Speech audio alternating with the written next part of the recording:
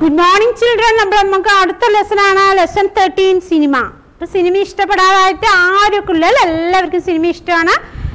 അപ്പൊ സിനിമയെ കുറിച്ച് കുറെ എന്താണ്? കുറെ സിനിമന്റെ പേരുകൾ തന്നിട്ടുണ്ട്. അതിൽ ആരാണ് ആക്ട് ചെയ്യുന്നത് എന്ന് നമ്മൾക്ക് തന്നിട്ടുണ്ട്. അപ്പൊ cinema is one of the main source of entertainment നമ്മൾക്ക് ഏറ്റവും ഉല്ലസിക്കാവുന്ന ഒന്നാണ്. രസ രസിക്കാവുന്ന ഒന്നാണ് cinema in India thousands of movies are released every year ഓരോ വർഷവും ആയിരക്കണക്കിന് സിനിമകൾ റിലീസ് ആവാറുണ്ട്.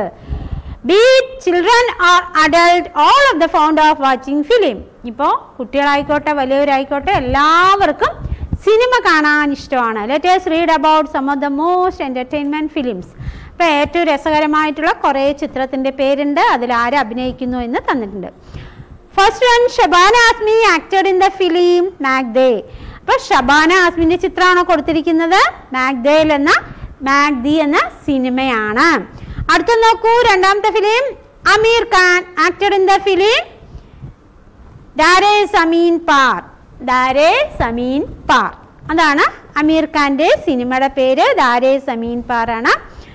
അടുത്ത നോക്കൂ Amitabh Bachchan Amitabh Bachchan actor in the film Bhoothnath അപ്പൊ അമിതാഭ് ബച്ചനാണ് ഭൂതനാഥിൽ ആരെ അഭിനയിച്ചിരിക്കുന്നത്? Amitabh ബച്ചനാണ് Anil Kapoor actor in the film mister India. Mister ഇന്ത്യയിൽ അഭിനയിച്ചവർ ആരാണ്?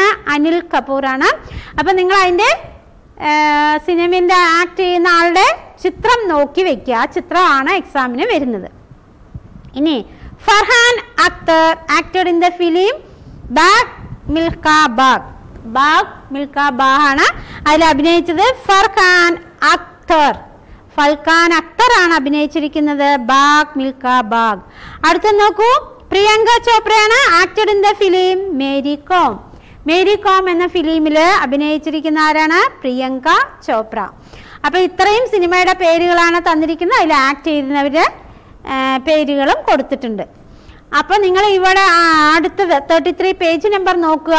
അപ്പൊ അതിൽ match the poster and actor correctly അപ്പൊ നോക്കൂ ഏത് ഫിലിമാണ് അതിൽ അഭിനയിച്ചവരുടെ പേര് കറക്റ്റ് ആയിട്ട് മാച്ച് ചെയ്യാം ഇനി create poster for the film title my India ഇനി മൈ ഇന്ത്യ എന്നുള്ള മൈ ഇന്ത്യ എന്ന് എഴുതിട്ട് അതിന് നിങ്ങൾ എന്ത് ചെയ്യണം? ഒരു പോസ്റ്റർ തയ്യാറാക്കാനാണ് പറഞ്ഞിരിക്കുന്നത്. അതൊരു വർക്കാണ് അപ്പോൾ അത് അത്രയും നിങ്ങൾ ചെയ്യുക. ഓക്കെ